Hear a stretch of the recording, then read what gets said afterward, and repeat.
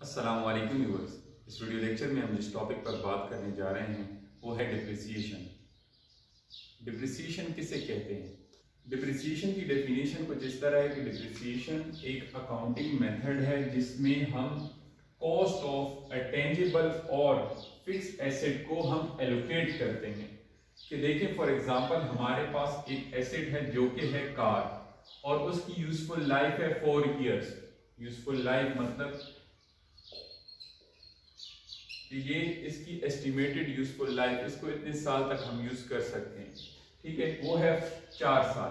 तो for example अगर उस एसेट की कॉस्ट चार लाख है तो पहले साल पे हमारी कॉस्ट कितनी आएगी? एक लाख, दूसरे साल एक लाख, तीसरे साल और चौथे साल। तो ये हमने क्या किया? ये हमने कार की कॉस्ट को चार सालों पर तकसीम कर दिया।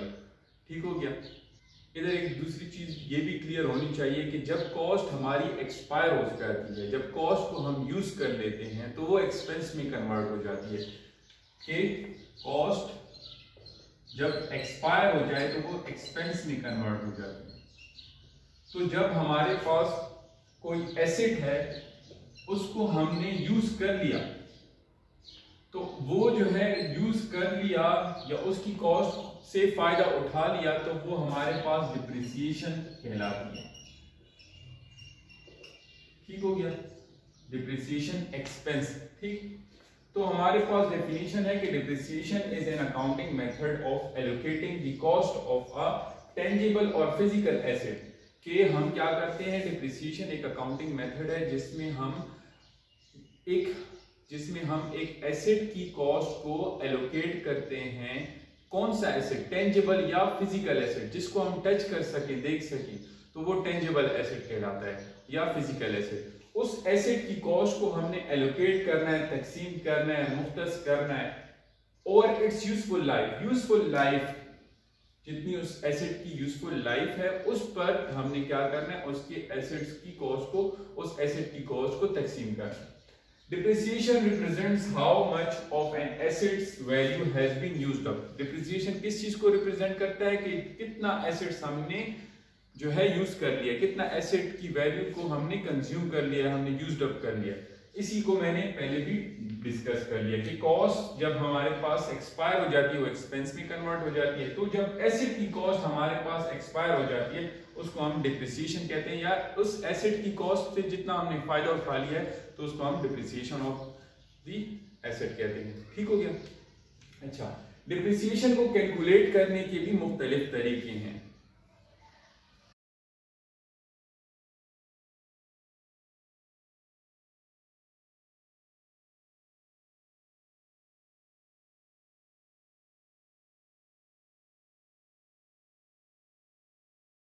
हमारे पास डिप्रिसिएशन को कैलकुलेट करने के पाँच तरीके जिसमें पहला है स्ट्रेट लाइन मेथड दूसरा है डिक्लाइनिंग बैलेंस मेथड तीसरा है sum of year digit method और चौथा है हमारे पास यूनिट प्रोड्यूस मेथड और पांचवा है modified accelerated cost recovery system method जो कि पांचवा है। ठीक हो गया?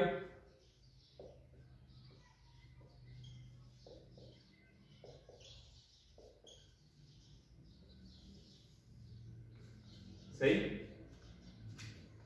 तो स्ट्रेट लाइन मेथड से हम डिप्रिसिएशन एक्सपेंस को कैलकुलेट कर सकते हैं, इसी तरह डिक्लाइनिंग बैलेंस मेथड से एंड सो ऑन ठीक हो गया?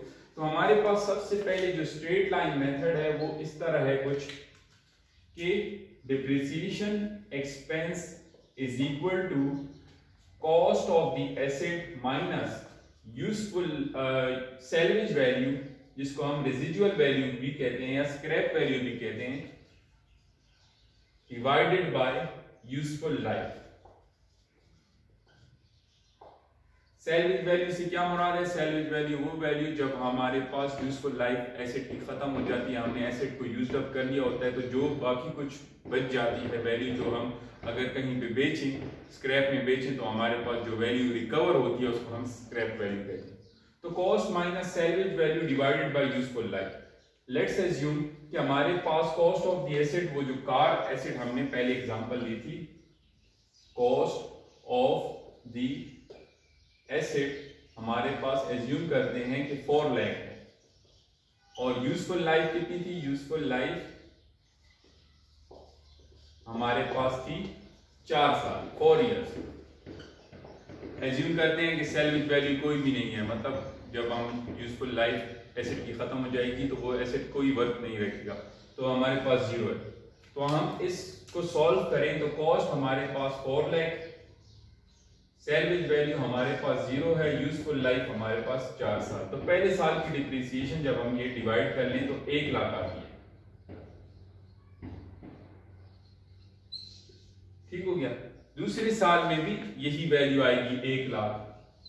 क्योंकि फॉर्मूला हमारे पास चेंज नहीं होगा। फॉर्मूला पहले साल के depreciation expense for first year ये आएगा। दूसरे साल का भी यही फॉर्मूला होगा। तीसरे साल का भी, चौथे साल का भी। तो हमारे पास डिप्रिसिएशन हर साल की डिप्रिसिएशन ऑफ़ फ़र्स्ट ईयर से लेकर and second year depreciation of first year second year third year and fourth year कितनी होगी? हमारे पास एक एक लाख। ठीक हो गया? तो इससे क्या होगा? इससे ये साबित होता है कि ये स्ट्रेट लाइन मेथड को स्ट्रेट लाइन मेथड इसलिए कहा जाता है कि डिप्रिसिएशन जो है सेम रहती है ओवर द यूजफुल लाइफ तो अगर हम इसका ड्राफ ड्रॉ करें तो हमारे पास इधर अगर हम लिखें ईयर्स और इधर हम लिख लें depreciation expense X X Y axis पर तो वो हमारे पास आएगा फॉर एग्जांपल एक लाख।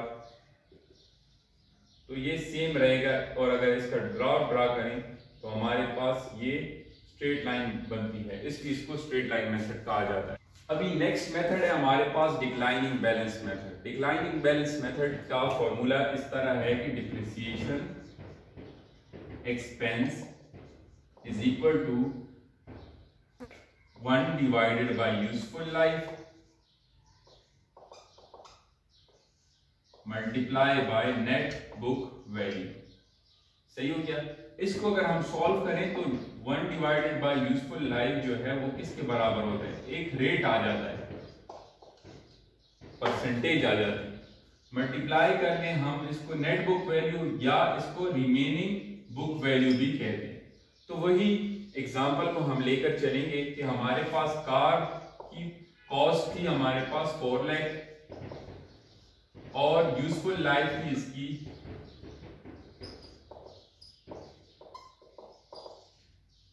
फोर इयर्स तो हमारे पास पहले साल का डिप्रिसिएशन एक्सपेंस क्या आएगा? One divided by four multiply by remaining book value जो कि है, शुरू में अभी इसमें डिप्रिसिएशन कोई हुई नहीं है तो यही सेम आ जाएगी फोर लैख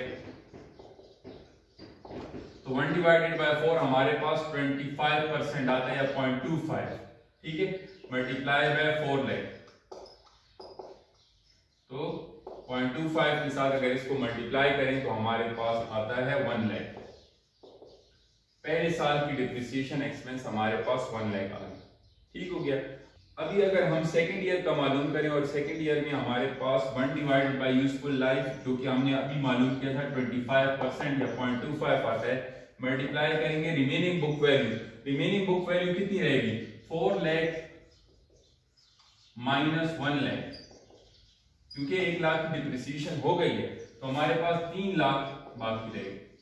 तो 25 परसेंट को तीन लाख के साथ मल्टीप्लाई करेंगे रिमेनिंग बुक वैल्यू के साथ तो हमारे पास आएगा, हमारे पास 75 परसेंट सेवेंटी थाउज़ेंड आ जाएँगे। डिप्रिसिएशन एक्सपेंस सेकेंड ईयर की। तो आपको ये क्लियर हो गया कि रिमेनिंग बुक वैल्यू या नेट बुक वैल्यू किस तरह मालूम की जाती है और हम इसको डिक्लाइनिंग बैलेंस मेथड में कैसे यूज़ करते हैं? डिक्लाइनिंग बैलेंस मेथड में हम ये करते हैं कि हम जो भी डिप्रिसिएशन हो जाती है, उसको हम माइनस कर देते हैं कॉस्ट से फिर हमारे पास नेट बुक वैल्यू आ जाती है, फिर उसके साथ हम रेट को मल्टीप्लाई कर देते हैं। अभी डिक्लाइनिंग बैलेंस मेथड में हमारे पास दो मेथड है। एक को कहते हैं 150 परसेंट मेथड और दूसरे को डबल डिक्लाइनिंग मेथड मतलब 200 परसेंट मेथड ठीक हो गया? 150 परसेंट मेथड से क्या मुराद है कि जो हमारे पास रेट हमने मालूम किया, उसको 150 परसेंट के साथ मल्टीप्लाई कर लो तो आपके पास 150 डिक्लाइनिंग बैलेंस मेथड बन जाएगा। और अगर 200 के साथ इस रेट को मल्टीप्लाई कर दें तो हमारे पास वो बन जाएगा डबल डिक्लाइनिंग बैलेंस मेथड ठीक हो गया? थर्ड मेथड है थर्ड मेथड डिप्रिसिएशन को कैलकुलेट करने का है हमारे पास sum of year digit method sum of year digit method का फॉर्मूला हमारे पास इस तरह है कि depreciation expense is equal to remaining useful life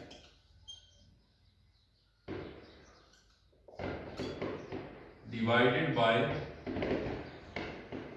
sum of year digit multiply by cost minus salvage value जिसको हम और फॉर्मूलों में भी लिख रहे थे। ठीक हो गया? तो हमारे पास उसी एग्जांपल को लें तो यूजफुल लाइफ पहले साल के लिए अगर डिप्रिसिएशन एक्सपेंस हम मालूम कर रहे हैं तो हमारे पास एसिड था फोर लैख का। और यूजफुल लाइफ है उसकी फोर इयर्स ठीक हो गया? तो पहले साल की डिप्रिसिएशन अगर हम मालूम कर रहे हैं तो हमारे पास remaining useful life four years होगी। ठीक हो गया? Divided by sum of year digit मतलब के four plus three plus two plus one जितने ईयर्स हैं, उन सब मतलब फोर ईयर है तो four plus three plus two plus one कर दें। ईयर के जितने भी डिजिट्स हैं, जितने भी ईयर्स हैं मतलब फाइव होता तो five plus four plus three plus two plus one कर देते। तो हमारे पास ये वैल्यू आ जाएगी, इससे एक रेट आ जाएगा मल्टीप्लाई करेंगे cost minus salvage value cost हमारे पास फोर लैख है। सेलवेज वैल्यू हमारे पास ज़ीरो थी तो उसको लिखने की ज़रूरत नहीं। तो four divided by four plus three seven plus two seven plus two nine plus one ten तो four divided by ten multiply by four lakh जो क्या आता है हमारे पास, जो क्या आता है हमारे पास four divided by ten forty percent multiply by four lakh तो फोर फोर से सिक्सटीन सिक्सटीन अब इसको अगर हम सॉल्व करें तो हमारे पास आता है one lakh sixty thousand one lakh sixty thousand पहले ईयर की। डिप्रिसिएशन आ जाएगी हमारे पास। कौन से मेथड से? Sum of year digit method sum of year digit method किस तरीके से डिप्रिसिएशन को कैलकुलेट करता है? Remaining useful life divided by sum of year digit multiply by cost minus salvage value तो हमारे पास ये डिप्रिसिएशन एक्सपेंस पहले साल का आ गया। अगर ये दूसरे साल के लिए हम डिप्रिसिएशन को मालूम करें तो हम क्या करेंगे? Depreciation expense of second year और इधर हमारे पास फोर की जगह रिमेनिंग यूजफुल लाइफ क्योंकि अभी तो एक साल गुजर गया है तो थ्री रह जाएगी। और ये इसी तरह रहेगा four plus three plus two plus one multiply by four lakh तो इधर थ्री डिवाइडेड रहते हैं थर्टी परसेंट आ जाएगा। Thirty percent of four lakh हमारे पास आएगा thirty four one lakh twenty thousand ठीक हो गया? वन लैख ट्वेंटी थाउज़ेंड ये सेकेंड ईयर की डिप्रिसिएशन एक्सपेंस कैलकुलेट हो गई हमारे पास sum of year digit method को को यूज़ करके। ठीक हो गया? हमारे पास नेक्स्ट मेथड है unit produce method unit produce method में डिप्रिसिएशन एक्सपेंस को कैलकुलेट इस तरह किया जाता है।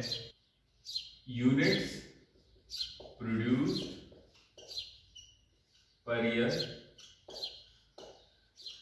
डिवाइडेड बाय कैपेसिटी कि कितने यूनिट एक प्लांट यूज़ प्रोड्यूस कर सकता है। Multiply by cost minus salvage value same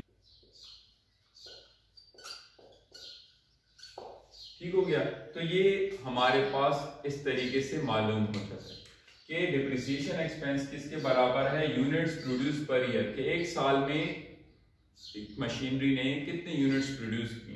और उसकी टोटल कैपेसिटी मतलब वो अपनी पूरी यूजफुल लाइफ में कितने यूनिट्स प्रोड्यूस कर सकती है? मल्टीप्लाई कर लेंगे उसकी कॉस्ट माइनस सेलवेज वैल्यू को। तो इधर एक हम एग्जांपल लेंगे कि लेट्स एज्यूम कि हमारे पास यूनिट्स प्रोड्यूस पर ईयर जो है वो 100 हैं। एक यूनिट्स प्रोड्यूस्ड पर ईयर जो है वो 100 यूनिट्स हैं। और एक जो मशीनरी है, वो उसकी टोटल कैपेसिटी कितनी है? वो थाउज़ेंड यूनिट्स बना सकती है। कितने अरसे में यूजफुल लाइफ जो है उसकी हमारे पास है? वो है लेट्स एज्यूम कि 10 है। वो 10 है।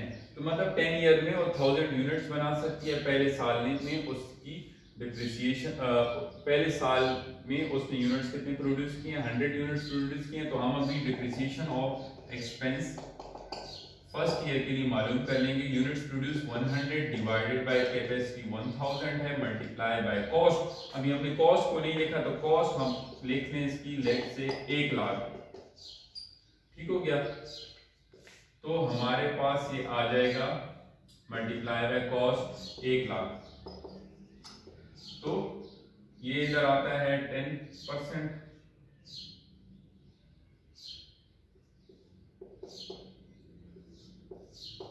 और ये आ गया हमने उतार दिया तो ten percent of one lakh ten thousand इसकी डिप्रिसिएशन पहले साल के लिए हमने कैलकुलेट कर ठीक हो गया depreciation for the first year हमारे पास टेन थाउज़ेंड आ गई. कैसे आई?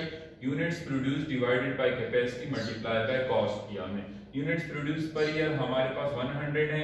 टोटल प्रोड्यूस प्रोड्यूसिंग कैपेसिटी इसकी 1 लाख है. तो हमारे पास 1 लाख के साथ हम टोटल प्रोड्यूसिंग कैपेसिटी उसकी दस एक हज़ार है और इसको मल्टीप्लाई कर लिया, एक लाख इसकी कॉस्ट के साथ तो हमारे पास टेन थाउज़ेंड जो है डिप्रिसिएशन एक्सपेंस आ गया फ़र्स्ट ईयर के फ़र्स्ट जो मेथड है, वो हमारे पास है modified accelerated cost recovery system modified accelerated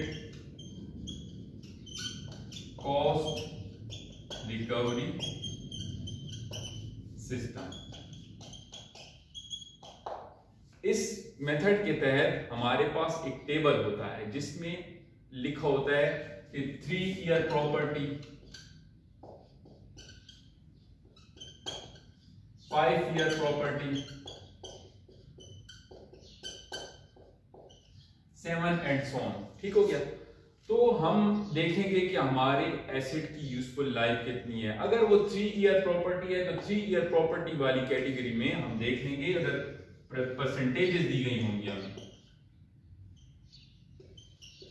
तो उसको पहले साल की परसेंटेज दूसरे साल की, तीसरे साल की परसेंटेज के साथ मल्टीप्लाई करके हम क्या करेंगे? डिप्रिसिएशन मालूम करेंगे। इसी तरह फाइव ईयर की प्रॉपर्टी में फाइव ईयर के लिए आपके पास परसेंटेजेस गिवन होंगी। फाइव ईयर प्रॉपर्टी वाली जो लिस्ट होगी तो उसमें हम मल्टीप्लाई करके क्या करेंगे? जो जिस ईयर की हम डिप्रिसिएशन मालूम करना चाहते हैं, उस ईयर की डिप्रिसिएशन मल्टीप्लाई करके मालूम कर लेंगे। तो ये हमारे पास पाँच मेथड हैं डिप्रिसिएशन को कैलकुलेट करने के लिए। डिप्रिसिएशन क्या थी? डिप्रिसिएशन हमारे पास जितना एसेट यूज़ कर लिया तो उसको हम क्या करते हैं? क्या कहते हैं? डिप्रिसिएशन एक्सपेंस कहते हैं। और ये क्या है? ये एक प्रोसेस ऑफ़ एलोकेशन है कि हम इसमें एसिड की कॉस्ट को डिफरेंट ईयर्स पर एलोकेट करते हैं कि एक ईयर का कितना एक्सपेंस है ये। ठीक हो गया? फिर उसके बाद हमने इसमें मेथड्स पढ़े, जिसमें हमने स्ट्रेट लाइन मेथड पढ़ा। स्ट्रेट लाइन मेथड को स्ट्रेट लाइन मेथड क्यों कहते हैं ये पढ़ा। फिर उसके बाद हमने डिक्लाइनिंग बैलेंस मेथड पढ़ा, जिसमें हमने दो मेथड देखे 200 परसेंट मेथड और 150 परसेंट मेथड 200 परसेंट मेथड को हम डबल डिक्लाइनिंग बैलेंस मेथड भी कहते हैं। और हमारे पास फिर sum of year digit method पढ़ा हमने, और यूनिट प्रोड्यूस मेथड पढ़ा और मेकर्स पढ़ा। तो इस वीडियो में हमने डिप्रिसिएशन को कवर किया। तो इस वीडियो में अगर कोई कोई क्वेश्चन हो, कोई कंफ्यूजन हो तो आप मुझसे कमेंट्स में पूछ सकते हैं। Thank you so much for watching